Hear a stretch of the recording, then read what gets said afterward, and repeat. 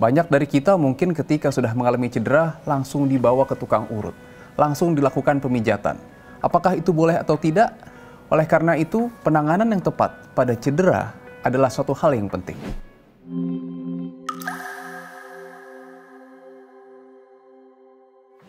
Pemberian pemijatan itu boleh diberikan hanya pada otot dan juga diberikan bukan pada fase akut. Fase akut cedera sendi terjadi kurang lebih antara 7 sampai dengan 14 hari atau 1 sampai dengan 2 minggu.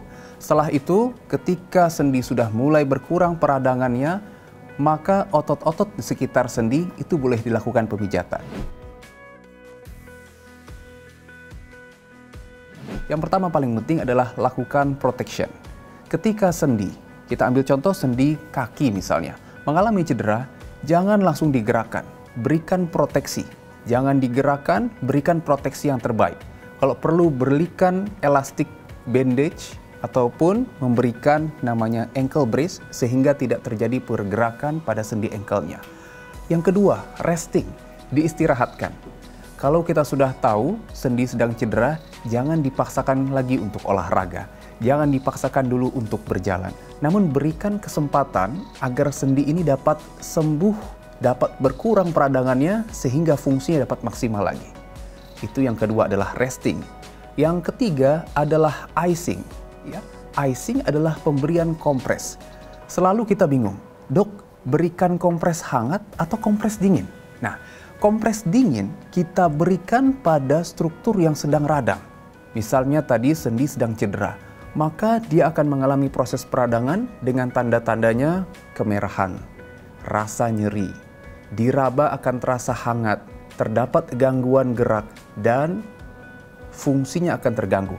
Maka ketika ada proses peradangan yang rasanya panas, kita berikan kebalikannya, yaitu kompres dingin. Ya, misalnya Anda mengalami cedera pada sendi bahu, sedang hangat, berikan kompres dingin sendi ankle sedang hangat, berikan kompres dingin. Namun sebaliknya, ketika masalahnya sudah kronik, sudah lama, misalnya pundak yang kaku, paha yang ototnya pegal, ototnya tegang, kebalikannya kita berikan kompres hangat. Ya, jadi untuk cedera fase akut berikan kompres dingin. Yang price ya, protection, resting, icing, kemudian yang juga penting adalah compression Compression fungsinya adalah untuk mengurangi pembengkakan yang mungkin terjadi pada sendi yang cedera. Dengan diberikan compression, misalnya dengan elastic bandage, maka sendi yang mungkin tadi akan bengkak karena sedang meradang dapat berkurang. Tentunya ketika sendi ini bengkak, dia akan menyebabkan penekanan pada struktur lain. Misalnya pembuluh darah juga akan tertekan, saraf-saraf kecil juga akan tertekan, yang akhirnya menimbulkan keluhan nyeri dan gangguan gerakannya. Oleh karena itu pemberian compression seperti elastic bandage akan mengurangi pembengkakan sehingga penyembuhan akan lebih cepat. Yang terakhir yang juga penting adalah elevation. Elevation artinya mengangkat tungkai atau area sendi yang sedang bengkak. Kita tahu tadi bahwa pembengkakan itu menyebabkan aliran darah ke situ akan lebih banyak. Dengan kita mengangkat tungkai, maka cairan yang tadi ada banyak di kaki akan kembali ke jantung dengan lebih mudah. Sehingga pembengkakan berkurang, ketika bengkaknya berkurang, nyeri berkurang, penyembuhan lebih baik, dan tentunya fungsi dan juga untuk kesembuhan ke depan akan lebih baik. Jadi ketika Anda mengalami cedera sendi, ingat price, protection, resting, icing, compression, dan elevation. Itu adalah kuncinya.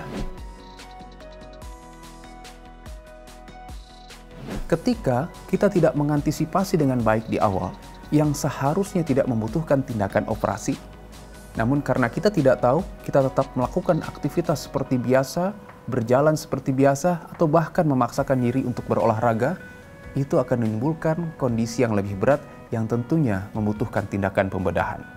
Dan jika sudah membutuhkan tindakan pembedahan, tentunya tidak selesai dari situ saja, namun proses recovery-nya yang cukup panjang sehingga tentunya akan mengganggu aktivitas Anda.